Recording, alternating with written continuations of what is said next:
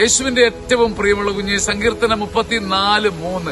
ഓരോ ദിവസവും ദൈവം ഓരോ വചനത്തിലും മറച്ചു വെക്കുന്ന ഒരു കാണാപ്പൊരുളുണ്ട് അതാണ് നമുക്ക് ആമേനായി വരുന്നത്.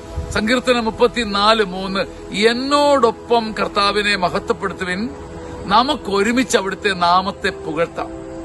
പ്രിയപ്പെട്ട ഈ സങ്കീർത്തനത്തിൽ തലക്കെട്ട് ദൈവത്തിന്റെ സംരക്ഷണം എന്നാണ്. ദൈവത്തിന്റെ സംരക്ഷണം നമുക്ക് കിട്ടാൻ എപ്പോഴും നല്ലത് ഒരുമയിലുള്ള പ്രാർത്ഥനയാണ്. ചിലപ്പോൾ പല വിചാരത്തിലായിരിക്കും. അതുകൊണ്ട് ആ സങ്കീർത്തകൻ പറയാ ഒറ്റയ്ക്ക് മാറി നിൽക്കാതെ നീ ദൂരയ്ക്ക് മാറി നിൽക്കാതെ നീ ഒറ്റയ്ക്ക് പ്രാർത്ഥിക്കുന്ന ആളായിരിക്കാം. നിനക്ക് ഒത്തിരി ആധ്യാത്മികത ഉണ്ടായിരിക്കാം. പക്ഷേ ഇപ്പൊ വായോ? ഇപ്പൊ വാ. എന്റെ കൂടെ വാ? എന്നോടൊപ്പം ദൈവത്തെ മഹത്വപ്പെടുത്തുവിൻ. അതിന് അതിന്റെതായ ഒരു ചാരുതയുണ്ട്. എന്നോടൊപ്പം ദൈവത്തെ മഹത്വപ്പെടുത്തുവിൻ.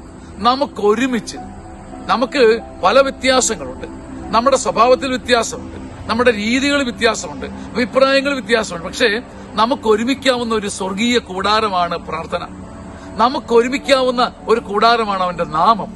അവന്റെ നാമം നമ്മളെ രഞ്ജിപ്പിക്കും ഒന്നിപ്പിക്കും. അവന്റെ നാമത്തിൽ ഒന്നിച്ച് ഒരുമിച്ച് പ്രാർത്ഥിക്കുമ്പോൾ ദൈവത്തിന്റെ സംരക്ഷണം നിനക്കും കിട്ടും എനിക്കും കിട്ടും. നമുക്ക് ഒരുമിക്കാവുന്ന കൂടാരമാണ് അവന്റെ നാമവും പ്രാർത്ഥനയും. അവിടെ നാം ഒരുമിച്ച രണ്ടുപേര് രണ്ടുപേര് ഒരുമിക്കുമ്പോൾ മനസ്സുകൾ ഒന്നിക്കുമ്പം സ്വർഗം ഒരു മരം ചായുന്നത് പോലെ ചാഞ്ഞു വരും. ഒരു മരം ചായുന്ന പോലെ ദൈവം മറക്കുട ചാർത്തും നിൻ മുമ്പിൽ. ഒരു മരം ചായുന്ന പോലെ ദൈവം മറക്കുട ചാർത്തും നിൻ മുമ്പിൽ. ഒരുമിച്ചു പ്രാർത്ഥന